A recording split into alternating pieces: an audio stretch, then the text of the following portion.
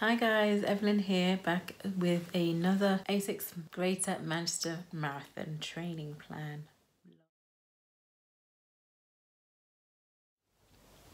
And then that brings you to week 24, which is week commencing 19th of March. I might have alluded to doing another 20 mile race. So I had booked Bedford 20 miler for the 25th of March. So I was going to have two 32k races, but in the end I only had one. So this week wasn't a cutback week as such. It was supposed to be 5k for the Wednesday at a comfortable pace of 7 minutes 24 per kilometre and then 8k at race pace 6 minutes 16 per kilometre. Uh, on the Saturday parkrun day was 5k uh, again 7 minutes 24 seconds per kilometre and then Sunday was proposed the 16 kilometres at race pace 616.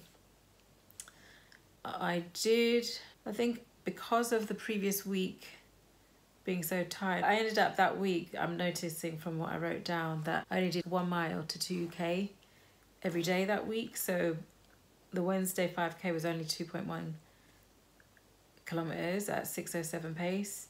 Thursday's 22nd of March, 8k supposed to have done. I just did a mile in 10 minutes and 5 seconds.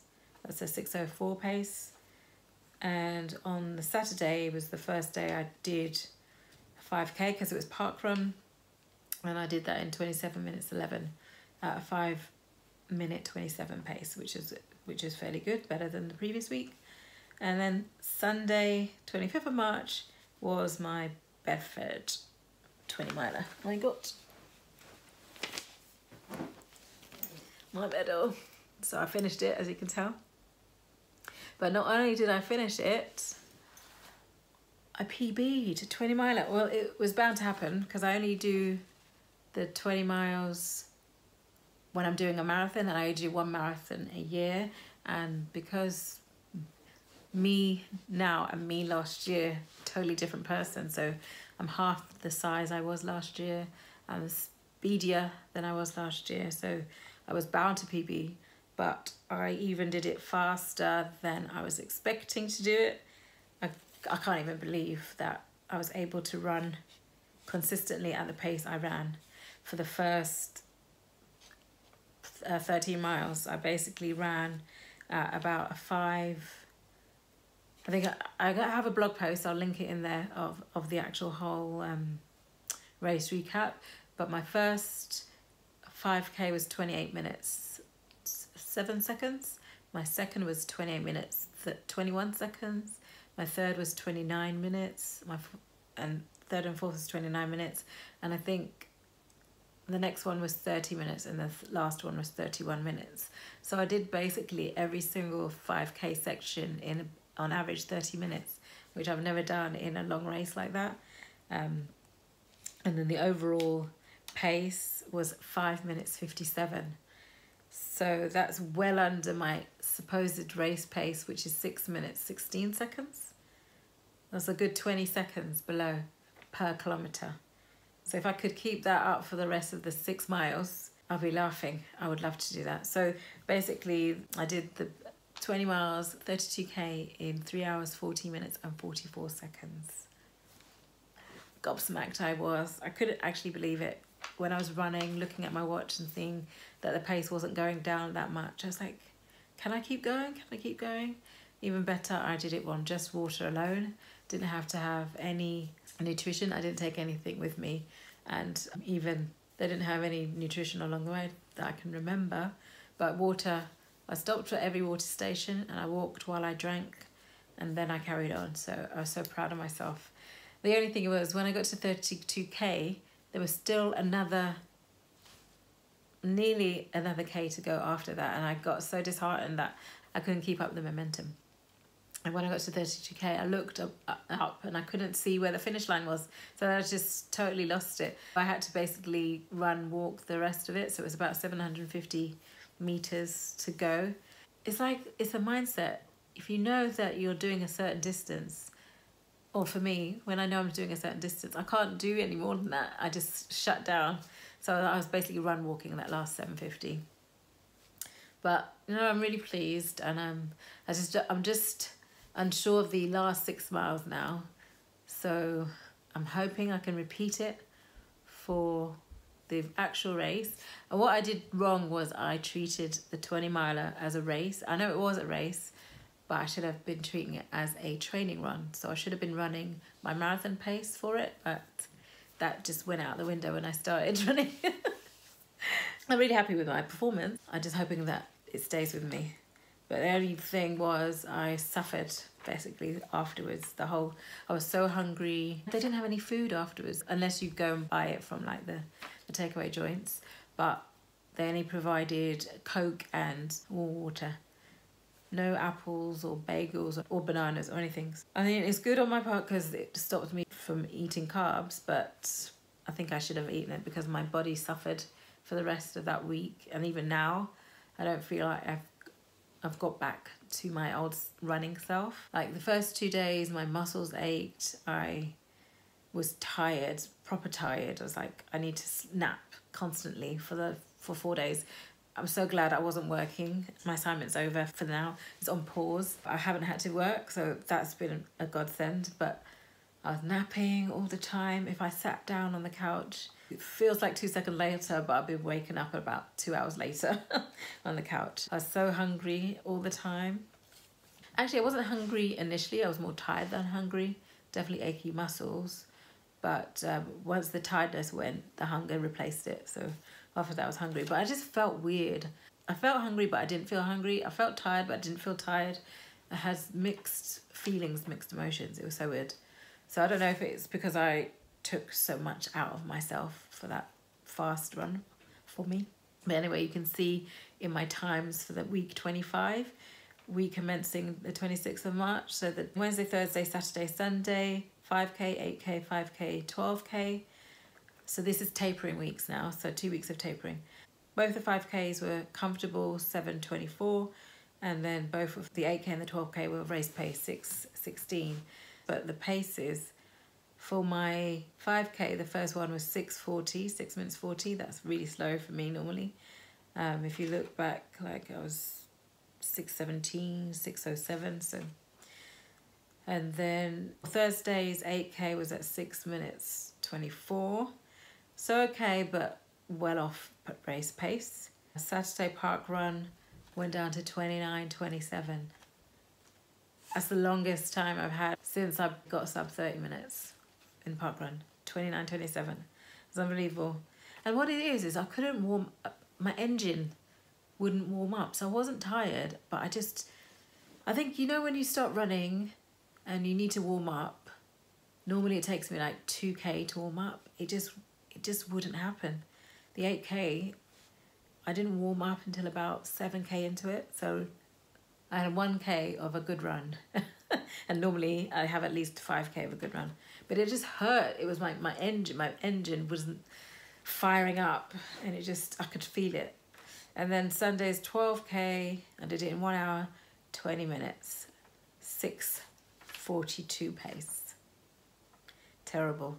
So I was like, I'm, I was, I was worried. I'm worried, actually. I'm still worried now. This week is week 26 and uh, today is Thursday, Thursday night. So I've done this week, because the marathon is on Sunday, um, the days have been shifted up. So rather than having my first training day on a on a Wednesday, it's actually Tuesday this week. So it's Tuesday, Wednesday, Friday, Sunday. So Tuesday, 5K, comfortable pace, 724. I did that um, in 6 minutes 27 pace, uh, 32 21, 32 minutes 21 for the 5K on Wednesday, um, it was race pace for 8K, but I ran with my friend Lou from the running club, and she's doing a 10K this weekend. So we're not the same speed level. So it was a bit slower for me. So it wasn't race pace for me, but it was a good pace. Um, 59 minutes 57 for just over 8K, 8.13. It's 7 minutes 23. So slow for me, but it was a PB for Lou for a five mile. So happy for her. And that leaves me with tomorrow's 5K. So it's supposed to be comfortable pace, but I'm toying with the idea of doing it at race pace because I didn't do yesterday's at race pace, but I'll only do 5k, I won't do 8k. And then Saturday, I'm not supposed to run at all, but I'm up in Manchester. I'm travelling up tomorrow so that I can do park run in Manchester. So I'm going to do Stretford Park Run on Saturday. And then the big one is here. So this Sunday has arrived. The marathon day has arrived. So what I'm hoping is this will be the last training update. I'll let you know how I do on tomorrow's run and park run when I do my race recap for the marathon itself.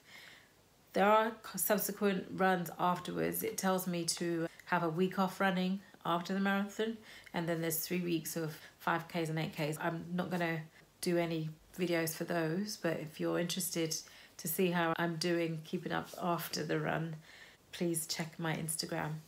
It's detailed uh, below so you can see that. Thank you so much for keeping up to date with me, following my training plan and my marathon journey. I put a post the other day, I might link it here, of my goals for the marathon. So I have done three marathons beforehand. My first was 5 hours 46 at Ottawa. My second was 5 hours 50, I think. And that was um, Bournemouth. And my last was 5 hours 46 or 5 hours 50 something or other in Brighton. So I'm definitely hoping I can PB. So my goals are number one is to finish, always to finish, and that's the priority. Number two is to PB. I'm assuming that my speeds mean that I will do it in less than five hours. So if I do do it in less, even if I do it in less than five hours, 30 minutes, I've PB'd. So I'm hoping that's an, another definite. Again, it depends if I finish. So as long as I finish, I'm assuming that I will PB. And then my next goal is to do it under five hours because I've never done that before. So that would be great. I'll be happy with that. And then my next goal is to achieve my target race plan, which was four hours, 26.50.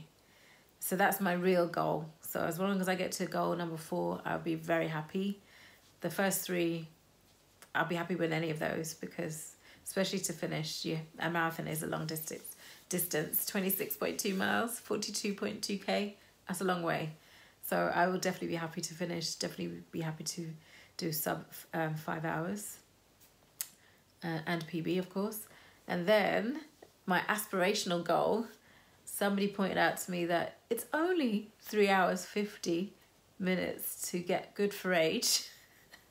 for London Marathon. It's like, yeah, three hours 50 is, is too much. There's a bit of a gap between three hours 50 and four hours 26. So I'm not holding my breath at all. It will be a big, big fluke if that happens. But you know, you can have a dream, can't you? But there's something for me to work towards for my next time. Um, but yeah, those are my goals.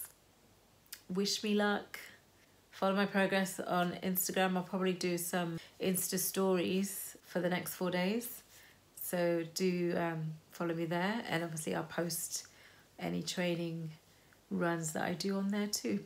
Thank you very much for watching. Thank you for all the new subscribers as well. I've had a few since I started doing these training plans. And if you're out there who you don't really normally watch my training runs, thank you very much for putting up with me. I haven't done any other types of videos just yet, but I do have a couple of other things that I want to uh, post soon. So once the marathon is out the way, I'll get back to it. So thank you for your patience. Thank you for following my journey, and I look forward to updating you about how I do in the marathon. Roll on Sunday. Take care. Bye.